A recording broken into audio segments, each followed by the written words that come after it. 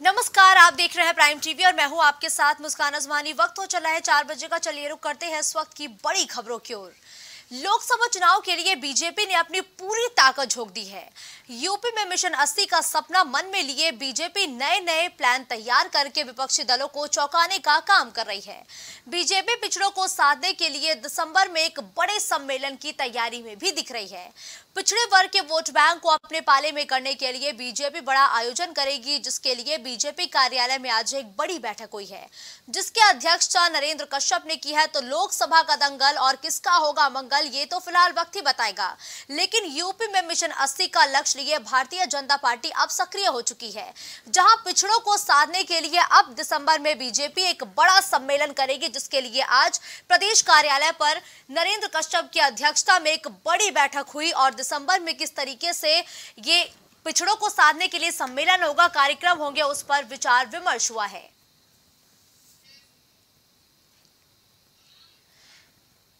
रितेश इस खबर पर ज़्यादा जानकारी के लिए इस वक्त लाइव हमारे साथ जुड़ चुके हैं। रितेश, देखिए, जहाँ एक तरफ़ समाजवादी पार्टी पीडीए की राह पर निकल चुकी है तो वहीं अब पिछड़ों को साधने के लिए भारतीय जनता पार्टी भी लगातार काम करती हुई नज़र आ रही है। अब ये जो दिसंबर में भारतीय जनता पार्टी का ये कार्यक्रम तय किया गया है, इस कार्यक्रम में क्या कुछ अलग और खास देखने को मिलेगा? और आज इस जो बैठक हुई है भारतीय जनता पार्टी प्रदेश कार्यालय पर, इस बैठक में कौन कौन मौजूद रहा? रितेश। देखिए, सबसे बड़ी बात तो ये है हिंदुस्तान की जिस तरीके से आगामी लोकसभा चुनाव 2024 नज़दीक आ रहा है, वैसे वैसे जो जितनी भी राजनीतिक पार्टियाँ हैं, वो लगातार पिछड़ी जातियों पर ही फोकस कर रही है। यानी अगर बात की जाए तो अभी वो उनके दिमाग में चल रहा है कि पिछड़ी जातियों के लिए वो ऐसा क्या कर रहे हैं कि जिससे उनका उस बैठ उनके पाले में आ जाए। अब उत्तर प्रदेश में अस्सी लोकसभा सीटें हैं, भारतीय जनता पार्टी चाहती है कि वो अस्सी की अस्सी लोकसभा सीटें अपने कब्जे में कर लेकिन कहीं ना कहीं जो अखिलेश यादव और आईएनडीआई का गठबंधन है, ये कहीं ना कहीं रोड़ा बन रहा है। इसको लेकर के आज एक बैठक की गई है पार्टी कार्यालय में। वहाँ पर नरेंद्र कश्यप ने बैठक की अध्यक्षता की है। और ये दिसंबर के, दिसंबर माह में ये बात कही जा रही है यानी दीपावली के बाद जिस लोकसभा क्षेत्र में जैसी जात की जितना गुणबा ज़्यादा होगा, उस जगहों पर वहाँ के जो नेता होंगे वो वहाँ पर आयोजन करेंगे। यानी ये आयोजन सामाजिक सम्मेलन के रूप में किया जाएगा। और इस सम्मेलन में पिछड़ी जातियों के लिए भारत सरकार द्वारा क्या क्या व्यवस्थाएँ की गई हैं क्या क्या सुविधाएँ उनको दी जा रही हैं या देने वाले हैं, उसके बारे में उनको बताएँगे। तो ऐसे में पिछड़ी जातियों का वोट साधने के लिए क्योंकि अब समय इनके पास बहुत कम बचा है। तो ये पूरा मामला अब पिछड़ी जातियों के वोट बैंक पर आकर के टिक गया है, जिस पर सभी पार्टी के नेताओं की नज़र गड़ी हुई। बिल्कुल, रितेश, आपने सही कहा कि देखिए, पिछड़े निर्णायक भूमिका तो निभाते हैं, इस बात का लगातार ज़िक्र हम भी करते हुए आए हैं। ऐसे में जहाँ कांग्रेस पिछड़ों को साधने की कोशिश कर रही है, समाजवादी पार्टी भाजपा भी पिछड़ों को साधने की कोशिश कर रही है, लेकिन जो पिछड़ा वर्ग है, ये कितना महत्वपूर्ण है यूपी में? अगर हम सियासी लिहाज से देखें तो। जैसा अभी आपने कहा कि निर्णायक मंडल के रूप में ही काम आएँगे, क्योंकि जो ये पिछड़ी जातियाँ हैं, पिछड़े वर्ग का वोट अब समझ में आ रहा है सभी पार्टियों को कि जो पिछड़े वर्ग के बैंक है, जब तक वो उनके साथ नहीं होंगे तो वो सरकार नहीं बना सकते। तो ऐसे में अब सभी, जितने भी पार्टी के कैंडिडेट हैं या जो नेता है, वो लगातार अब इसी काम पे लग गए अभी अगर आप मध्य प्रदेश की बात करें तो आज एक बड़ा कुंबा मध्य प्रदेश में मौजूद है। मायावती की बात करें तो वो भी और अखिलेश यादव ब्रजेश पाठक। तो ऐसे में अब वोट बैंक को साधने के लिए नेता ये देखने की कोशिश कर रहे हैं कि किन तक और भारतीय जनता पार्टी को हर आखिरी मतदाता तक पहुँचने की कोशिश कर रही है। अब सबसे बड़ी बात जो यहाँ पर आ रही छड़ा वर्ग। तो अगर हम उसकी बात करें तो जो लोकसभा क्षेत्र होगा और हर लोकसभा क्षेत्र में जिस जाति का ज़्यादा कुंबा होगा, यानी जहाँ पर पिछड़े वर्ग के आय के लोग जो ज़्यादा होंगे, वहाँ पर ये आयोजन सम्मेलन किया जाएगा और वहाँ पर जैसे विश्वकर्मा सम्मान निधि है इसके बारे में बताया जाएगा। उज्ज्वला योजना इसके बारे में बताया जाएगा। और भी पिछड़े वर्ग के लिए जितनी भी योजनाएँ लागू की गई है सरकार की तरफ़ से वो भारतीय जनता पार्टी के नेता वहाँ तक जाके उनको बताएँगे देखिए जो अलग अलग प्रदेशों में जातीय जनगणना की मांग उठ रही है क्या ये जो भारतीय जनता पार्टी तमाम पिछड़ों को साधने की कवायद कर रही है क्या ये जातीय जनगणना की काट मानी जाए हाँ देखिए, बिल्कुल सही बात आपने कहा कि जिस तरीके से विपक्ष हमला कर रहा है कि जातीय जनगणना होनी चाहिए। जैसे बिहार में हुआ उत्तर प्रदेश में भी होना चाहिए, भारत में भी होना चाहिए। तो ऐसे में अब उस जातीय जनगणना की काट ढूँढने के लिए भारतीय जनता पार्टी ने एक अपना एक एपिसोड बनाया और एपिसोड के तहत ये दिसंबर तक हर उस मतदाता तक पहुँचने की कोशिश करेंगे और हर उस मतदाता को भारत में चल रही पिछली आय वर्ग की जातियों के लिए जो योजनाएँ हैं उनको उन तक कैसे पहुँचाया जाए वो अभी तक उन तक नहीं पहुँच पाई है, या कुछ और भी नई योजनाएँ लागू की जा सकती हैं जिससे वो उत्तर प्रदेश से जो दिल्ली का रास्ता तय होता है, वो यहाँ अस्सी सीटें अपने पाले में कर सकते बिल्कुल ठीक है, धन्यवाद रितेश इस खबर पर हमारे साथ जुड़ने के लिए। तो देखिए, मिशन 80 का लक्ष्य लिए भारतीय जनता पार्टी जिस चुनावी मैदान में अब सक्रियता से नज़र आ रही है, उसमें पिछड़ों को साधने की कवायद भी हर एक पार्टी कर रही है। इसी तर्ज पर भारतीय जनता पार्टी भी दिसंबर में दलितों को साधने के लिए एक बड़ा सम्मेलन करती हुई नज़र आएगी, जिसकी तैयारियाँ भी शुरू हो गई है और नरेंद्र कश्यप को इसकी अहम और बड़ी ज़िम्मेदारी दी गई है।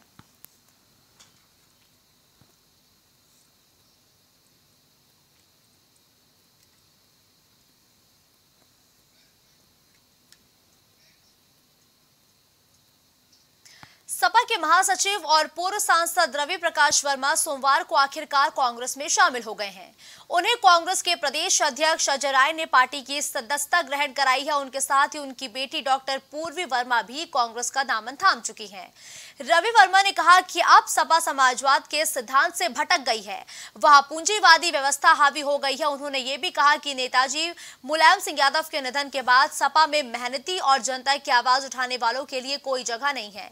इसलिए अब मैं सपा से इस्तीफा दे चुका हूँ और कांग्रेस में शामिल हो चुका हूँ। तो सपा में, अब ये देखिए तमाम अटकलों के बीच अब ये बड़ी और अहम तस्वीरें हैं, जहाँ रवि प्रकाश ने अब कांग्रेस का हाथ थाम लिया है और सपा में अब कांग्रेस की सेंध जो लगातार जारी है तो समाजवादी पार्टी में लगातार जो कांग्रेस की सेंधमारी है, वो तो देखने को मिल रही है। इसी बीच रवि प्रकाश ने भी अब कांग्रेस का दामन थाम लिया है।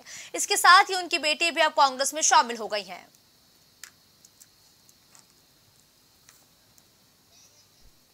गौरव, इस खबर पर ज़्यादा जानकारी के लिए हमारे साथ जुड़ चुके हैं। देखिए, गौरव, रवि प्रकाश अब कांग्रेस के साथ आ चुके हैं। और अब ये भी कहा जा रहा है कि समाजवादी पार्टी में लगातार जो कांग्रेस सेंध लगा रही है, कांग्रेस को उसमें बड़ी सफलता हासिल हो रही है। ये कितना बड़ा झटका है समाजवादी पार्टी के लिए, गौरव? राह आने के बाद जिस तरह से मुस्कान बयानबाजी चल रही थी, और बयानबाजी अब तक यहाँ पर कमी नहीं है। क्योंकि यहाँ पर अखिलेश यादव भी यहाँ पर बोल चुके हैं कि आने वाले समय में कांग्रेस जो है वो केवल और केवल धोखा देने वाली पार्टी है।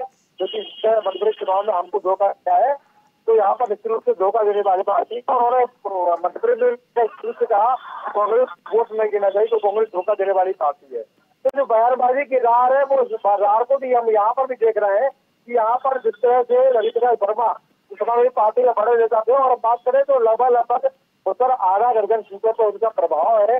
तो निश्चित रूप से अगर इन्होंने यहाँ पर कांग्रेस का दामन थामा तो समाजवादी पार्टी है। तो पीडीए इंडिया को लेकर चल रही थी, उसको एक बड़ी यह भी यहाँ पर स्थापित हुआ है। उन्होंने जैन भी करा दी है और कांग्रेस तरह से, कांग्रेस समाजवादी पार्टी की लड़ाई भी चल रही वहाँ पर भी यहाँ लड़ाई को पंच लग गया क्योंकि लड़ाई आप लगातार बढ़ती चली जाएगी क्योंकि यहाँ पर तरह से रवि प्रकाश वर्मा बड़ा नाम है, उनकी लड़की पूर्वी वर्मा, दोनों लोग यहाँ पर शामिल हुए तो कहीं ना कहीं कांग्रेस तो मज़बूत होगी। कांग्रेस की नीति है, वो मज़बूत यहाँ पर होगी खास तौर अखिलेश यादव को भेजता है बीजेपी को। उसको यहाँ पर निश्चित रूप से चुनौती देने वाली यहाँ पर काम हुआ है।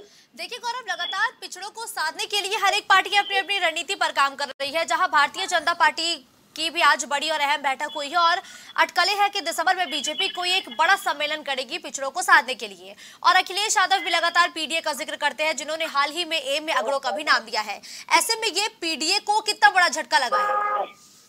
मेरे को पीडीओ बड़ा झटका है बीजेपी का बात करें नुकसान तो बीजेपी लगातार तमाम कार्यक्रमों के माध्यम से अभी हमने देखा है कि दलित सम्मेलन भी चल रहे थे और दलित सम्मेलन अभी हाल में खत्म हुए, इसके बाद जो ओबीसी महाकुंभ की बात कही जा रही है, उम्मीद की जा सकती है कि आगामी दिसंबर में ओबीसी महाकुंभ होगा प्रयागराज में संभावना तैयारी लगातार चल रही है, और जो ओबीसी महाकुंभ में मुस्कान, अगर हम बात करें तो पाँच से दस लाख के लगभग भीड़ जुटने की यहाँ पर पूरी पूरी संभावना है तो निश्चित रूप से बीजेपी जो पीडीए जो समाजवादी पार्टी की नीति बनाई है, उस पर पहले चलती चली आ रही है और चौदह, सत्रह उन्नीस, बाईस परिणाम नमस्कार, वो बताते हैं इस बार ने बीजेपी का साथ दिया है। और फ़िलहाल यहाँ पर समाजवादी पार्टी पीडीए को इंडिया मार के चल ज़रूर रही है और हर एक वोट बैंक की अगर बात करें, वोट बैंक ने समाजवादी पार्टी ने करीब करीब साथ नहीं दिया है। अभी हर वाले समय समाज पार्टी का चौबीस चुनाव में साथ देंगे, नहीं देंगे, ये बड़ा प्रश्न होगा, क्योंकि ये जो वोट बैंक जिसकी लेकर समाज पार्टी लगातार मेहनत कर रही है ये समाजवादी पार्टी सभी लेकिन देखिए गौरव रवि प्रकाश के अगर हम राजनीतिक इतिहास पर एक नज़र डालें तो उनका परिवार भी लंबे समय समाजवादी पार्टी में रहा है। साफ़ शब्दों में कहे तो दशकों से ये जो रवि प्रकाश है ये समाजवादी पार्टी का हिस्सा रहे हैं। बहुत बड़ी कोई वजह होगी तभी इन्होंने सपा का दामन थामा। क्या अंतर कला ही एक बड़ी वजह है या फिर कोई और भी वजह निकल के सामने आई है पार्टी छोड़ने के पीछे? देखिए मुस्कान वजह केवल होती है वो होती है राजनीतिक और यहाँ पर कोई भी आंतरिक कलह यहाँ पर नहीं होती है। अंदरूनी बात की बात ज़रूर उन्होंने कही है पर यहाँ पर अपना राजनीतिक उद्देश्य पूरा करना है। जैसे कि अटकलें लगाई जा रही थी कि तमाम लोगों के यहाँ टिकट काटे जा सकते हैं, और हो सकता है कि यहाँ पर बेहतर विकल्प वो कांग्रेस यहाँ पर नज़र आ रहा है, क्योंकि अगर कांग्रेस की बात करें तो कांग्रेस का जो अगर पीडीए की बात करें या वोट वर्ग की बात करें तो दलित ओबीसी वोट वर्ग है, कांग्रेस का पहले भी वोट बैंक रहा है इसमें कोई नई चर्चा नहीं है, पर दूसरे से यहाँ पर हमारी पार्टी के जो मुखिया है, उनको उन्होंने कहा है कि बात नहीं हो पाती है तवज्जो नहीं देते तो हो जाता है यहाँ पर अनदेखी का आरोप इन्होंने लगाया है। अब अनदेखी है राजनीतिक मंशा है, वो तो रवि प्रकाश वर्मा बेहतर जानते होंगे। पर फ़िलहाल यहाँ पर रवि प्रकाश वर्मा के रूप में कांग्रेस को एक बेहतर यहाँ पर एक प्लस पॉइंट मिला हुआ है, क्योंकि रवि प्रकाश वर्मा के बात है मैंने आपको पहले बताया है कि वहाँ पर अगर बात करें तो लगभग आधा दर्जन सीटों पर उनकी बात, है, उनके प्रभाव है। चाहे लखीमपुर खीरी की बात करें, चाहे हम काफ़ी जो शाहजहांपुर की बात करें या बरेली की बात करें, लखीमपुर खीरी की बात करें तो लगभग दर्जन सीटों पर उनकी यहाँ पर घोराला की बात करें ठीक है तो धन्यवाद। गौरव इस खबर पर हमारे साथ जुड़ने के लिए।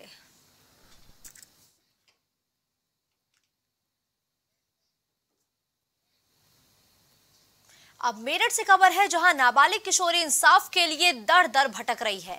किशोरी के साथ कुछ लोगों ने दुष्कर्म की वारदात को अंजाम दिया था और मामले की शिकायत पीड़िता ने थाने में भी दर्ज कराई थी। लेकिन पुलिस ने एफआईआर लगाकर मामले को रफा दफ़ा तक कर दिया। आरोपियों के हौसले इतने बुलंद है कि वो पीड़िता के घर में घुसकर उसे जान से मारने की धमकी तक दे आए हैं। पीड़िता के थक हार कर आज़ाद समाज पार्टी के राष्ट्रीय अध्यक्ष चंद्रशेखर आज़ाद से न्याय की गुहार लगाई थी। जिसके बाद पार्टी के जिलाध्यक्ष ने एसएसपी से निष्पक्ष जाँच की मांग की है। मैं पवन गुर्जर, जिला अध्यक्ष, आज़ाद समाज पार्टी, जनपद मेरठ। देखिए, अक्सर, क्योंकि हम लोग सामाजिक लोग हैं और कहीं ना कहीं सामाजिक दायरे में लोगों से जुड़े रहते हैं। अभी भी, आज तो हम लोग पांचली बुज़ुर्ग गाँव की एक बच्ची है, नाबालिग। उसके साथ लगभग छः माह पहले रेप हो गया था, जिसमें मुकदमा पंजीकृत किया गया था थाना सरूरपुर में।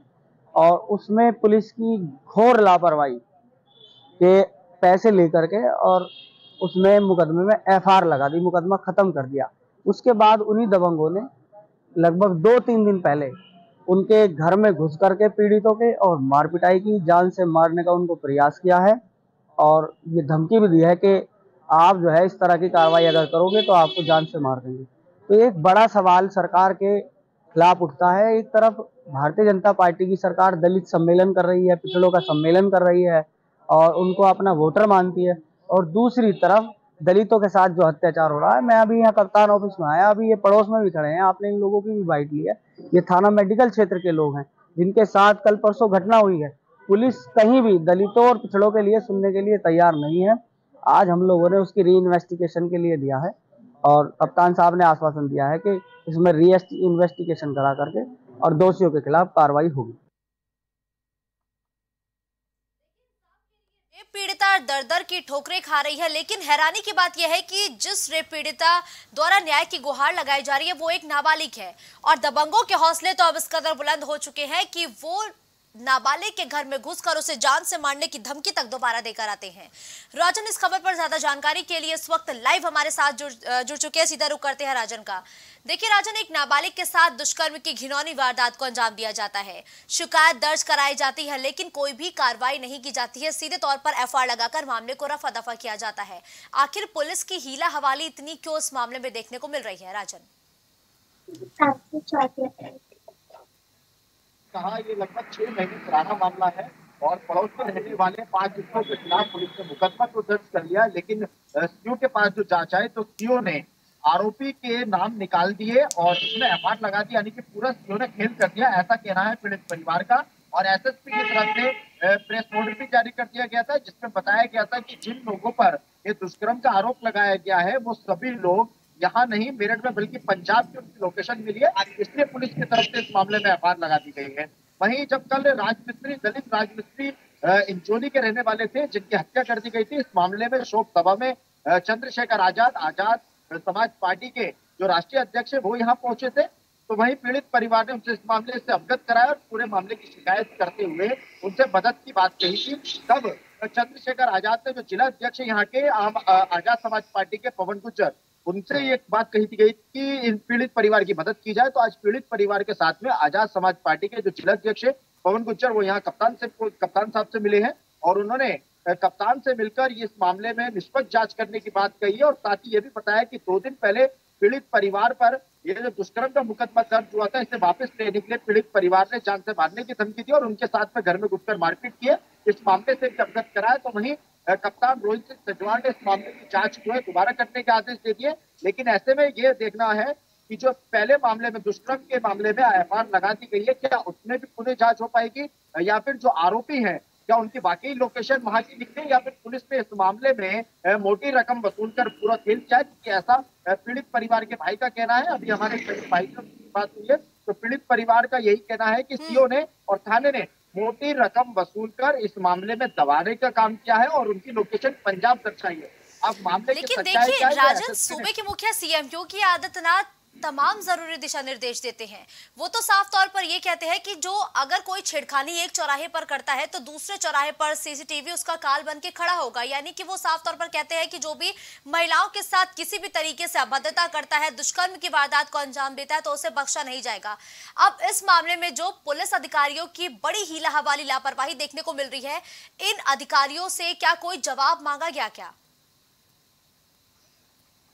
देखिए, मेरठ के अधिकारियों से जवाब बना अभी इस मामले में क्या किसी भी मामले में नहीं मांगा जा रहा है? तो चाहे वो विस्फोट का मामला हो, लोहिया नगर के, चाहे वो कोई पीड़िता कप्तान कार्यालय के गेट के बाहर जहर खा ले या फिर कोई दुष्कर्म की पीड़िता दर दर भटके, लेकिन यहाँ के अधिकारियों को कोई फ़र्क नहीं पड़ता। यहाँ पर कहने और सुनने के लिए कोई नहीं है। यहाँ तक कि जो प्रदेश के मुख्यमंत्री योगी आदित्यनाथ है, उनका साफ़ तौर पर यह आदेश है कि कोई भी पीड़ित दर दर की ठोकरे ना खाए और उन्हें इंसाफ हर हाल में मिलना चाहिए, क्योंकि योगी जी के लखनऊ से तो आदेश बिल्कुल सकते हैं, लेकिन वो आते आते रास्ते में, यानी कि यह यूँ कहें कि वो पैसेंजर किसी गाड़ी से आ रहे हैं, जो आदेश बिल्कुल रुक जाते हैं, कहीं कहीं गाड़ी पंचर हो जाती है तो इसी तरीके से ये आदेश योगी आदित्यनाथ के भी बिल्कुल धीरे धीरे यहाँ तक पहुँच रहे लेकिन अधिकारियों को ये आदेश समझ में नहीं आ रहे और ये समझ में तब आते हैं, जब योगी जी का फरमान जारी होता है ट्रांसफ़र का, या कोई बड़ा एक्शन ले लेते हैं तब इन अधिकारियों पर जब गाज गिरती है तब समझ में आता है। लेकिन तो देखिए राजन ये मसला बड़ा है क्योंकि जो बच्ची है जिसके साथ इस पूरी वारदात को अंजाम दिया गया है वो भी नाबालिग है। क्या इस मामले पर डीएम और एसपी को जानकारी है क्या कि इतनी बड़ी हीला हवाली उनके ज़िले में हो रही है? वो भी अधिकारियों के द्वारा जिनके ऊपर बेटियों की सुरक्षा की ज़िम्मेदारी है। देखिए दो दिन पहले तहसील दिवस सरदरे में मनाई जा रही थी जहाँ पे प्रशासन के डीएम और पुलिस के हम्म। कप्तान यानी कि एसएसपी भी वहाँ मौजूद थे। तो ये पीड़ित परिवार अपनी शिकायत लेकर वहाँ पहुँचा कि हमारा छह महीने का मामला है और इसमें सीओ सीओ साहब ने जाँच करते हुए पूरे मामले में एफ़ लगा के पूरे मामले को रफा दफ़ा कर दिया है। उस पूरे मामले से अवगत कराते हुए जो शीट प्रदान लेकर निकले थे, यानी कि आत्मदाह की कोशिश की गई थी, पुलिस ने वहाँ पर पहुंचकर इनसे ज्वलन शीट प्रदान छीन लिया तो इन्हें आत्मदाह से रोका गया है। वही इस मामले से भी ये साबित होता है कि तीन दिन पहले, यानी कि तहसील दिवस पे ऐसा काम करने की पीड़ित परिवार ने सोची थी, आत्महत्या करने की कोशिश की थी। उसके बावजूद भी अधिकारियों के कानों पर छू नहीं रही। लेकिन फिर अभी कुछ दिन पहले ही पीड़ित परिवार के घर में घुसकर दबंग उन्हें जान से मारने की भी धमकी देते हैं मारपीट भी करते हैं और साथ के साथ मुकदमा वापस लेने की बिल्कुल सरासर धमकी देते हैं और उन्होंने ठीक है बिल्कुल धन्यवाद राजन। इस खबर पर हमारे साथ जुड़ते हुए तमाम जानकारी और अपडेट हमारे दर्शकों तक पहुँचाने के लिए।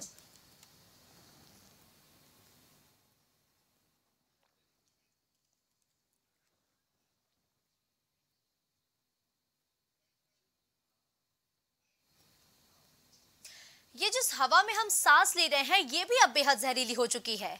और हर तरफ़ हाहाकार मचा हुआ है और प्रदूषण की मार भी हर तरफ़ देखने को मिल रही है। और उम्मीदें हैं कि अब से कुछ दिनों में लोगों को इसी जहरीली हवा में सांस भी लेना पड़ सकता है। और ये तस्वीरें उसकी साफ़ तौर पर एक उदाहरण भी है कि देखिए आबो हवा खराब हो चुकी है और सांस लेना मुहाल हो चुका है। क्योंकि आपसे कुछ दिनों तक भी आबो हवा के सुधरने के कोई भी संकेत मिलते हुए नज़र नहीं आ रहे हैं। हर एक घंटे के साथ ही जो प्रदूषण का लेवल है, वो बढ़ता जा रहा है। धुंध और कोहरा भी ऐसा कि जिसमें सूरज के दर्शन तक लोगों को नहीं हो पा रहे हैं। सड़क पर चलने के लिए लोगों को रोशनी का सहारा लेना पड़ता है और हर घंटे के साथ सांस लेना भी दूभर हो रहा है। जहरीली हवा में लोगों का दम भी घुटने लगा है, जिसका असर बड़े बूढ़ों के साथ बच्चों पर भी देखने को मिल रहा है। वहीं दिल्ली से सटा गाजियाबाद, जहाँ प्रदूषण की मार ऐसी पड़ी कि 440 बच्चे तक प्रदूषण की वजह से अस्पताल में भर्ती हो चुके हैं। अब जब मसला गंभीर हो गया तो सुप्रीम कोर्ट ने भी इस मामले पर केंद्र को कड़ी फटकार लगाई।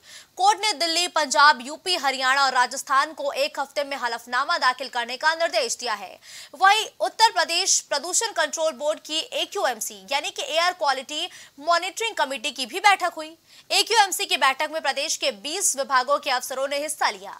इस बैठक में निर्देश जारी किए गए कि प्रदूषण कंट्रोल करने के लिए मैकेनाइज्ड रोड स्वीपिंग मशीन का भी उपयोग बढ़ाया जाए। साथ ही पराली को लेकर भी निर्देश दिए गए। और इस बैठक में साफ़ तौर पर कहा गया कि किसी भी खेत में पराली किसी भी हाल में ना जलाई जाए। वही सड़कों पर पानी का छिड़काव होने का भी निर्देश दिया गया। निर्माण स्थलों पर ग्रीन नेट के उपयोग का भी निर्देश दिया गया है।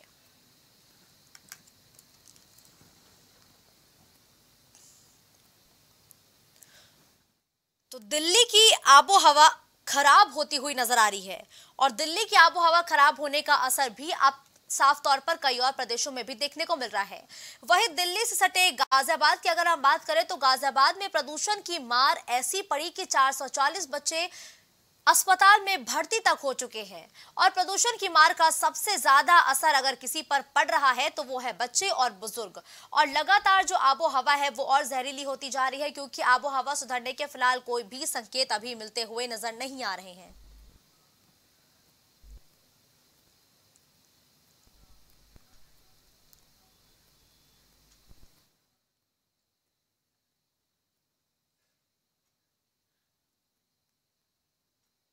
सर्दियों का मौसम आते ही कई शहरों की आबो हवा भी काफ़ी जहरीली हो जाती है।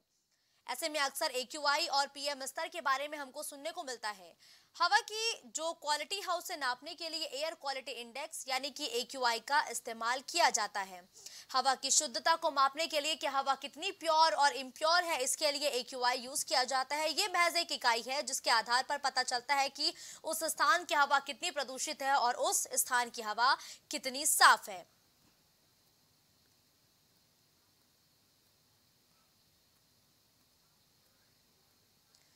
और ए जिसका हम लगातार ज़िक्र कर रहे हैं, ये भी छह कैटेगरी में बांटा गया है, यानी कि छह कैटेगरी में एक्यूआई को कैटेगराइज किया गया है।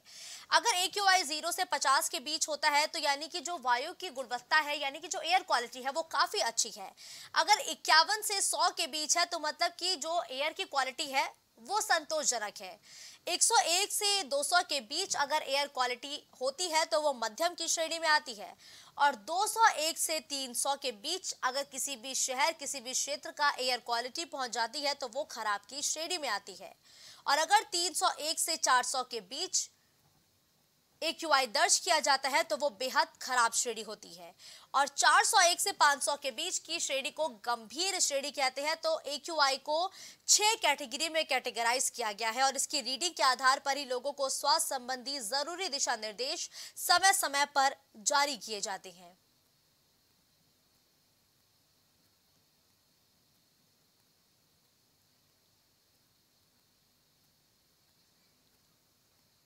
तो वायु की गुणवत्ता को मापने के भी कई पैमाने होते हैं।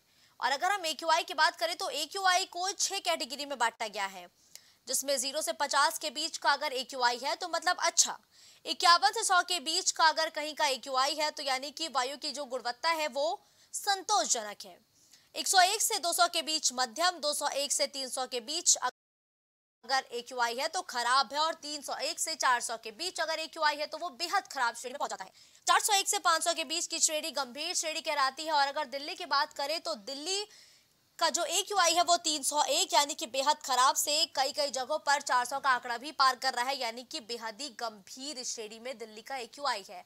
लेकिन ये ए क्यू आई लगातार अब हर एक प्रदेश को परेशान कर रहा है। लखनऊ के ए क्यू आई की बात करें तो लखनऊ का ए क्यू आई भी खराब और बेहद खराब श्रेणी में लगातार पहुँचता जा रहा है। ऐसे में ज़रूरी दिशा निर्देश प्रदेश की सरकार की तरफ़ से दिए जा रहे हैं। लोगों से अपील की जा रही है कि वो पराली ना जलाए। सबसे ज़्यादा पश्चिमी यूपी के किसानों से सरकार अब अपील कर रही है कि वो पराली ना जलाए। लेकिन जब मसला गंभीर हुआ तो सुप्रीम कोर्ट को भी इस मामले में हस्तक्षेप करना पड़ा। सुप्रीम कोर्ट ने इस मामले पर केंद्र सरकार को फटकार लगाते हुए पाँच राज्यों से साफ़ तौर पर एक रिपोर्ट मांगी है और पाँच राज्यों में कहा गया है कि वो प्रदूषण को कंट्रोल करने के लिए क्या सख्त कदम उठा रहे हैं। इसके बारे में एक संक्षेप ब्यौरा दें।